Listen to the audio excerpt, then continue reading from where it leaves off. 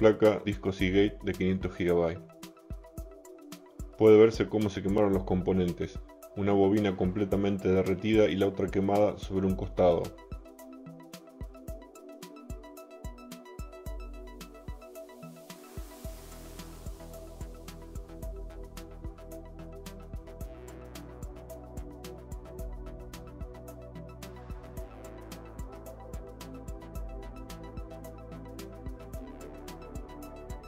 Con alcohol isopropílico limpio bien el área quemada.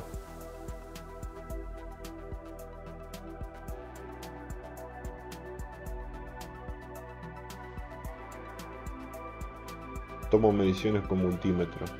Las bobinas, que son las negras, tienen que darme continuidad y los capacitores, el marrón y blanco, sin continuidad.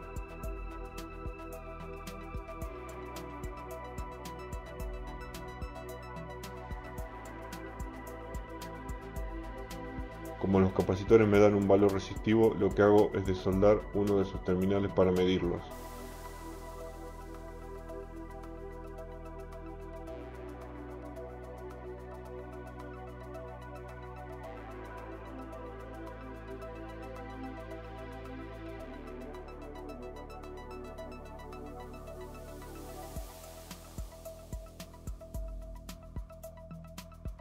No me dio ningún tipo de continuidad o resistencia, así que sigo con los demás.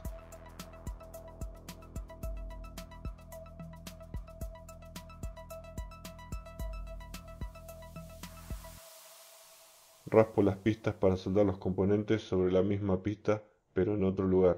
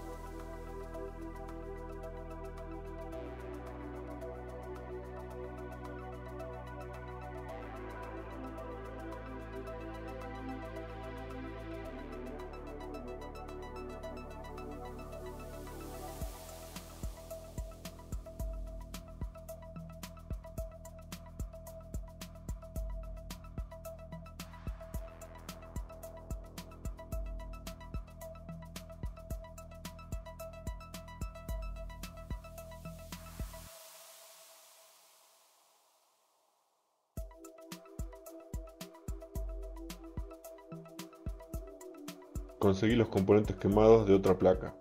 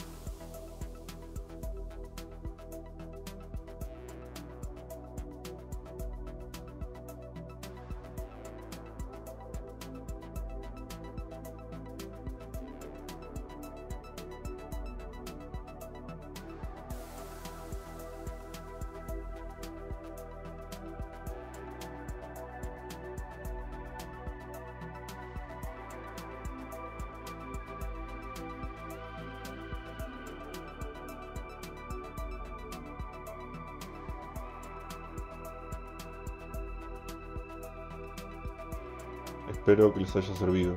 Suscríbanse que sigo subiendo videos.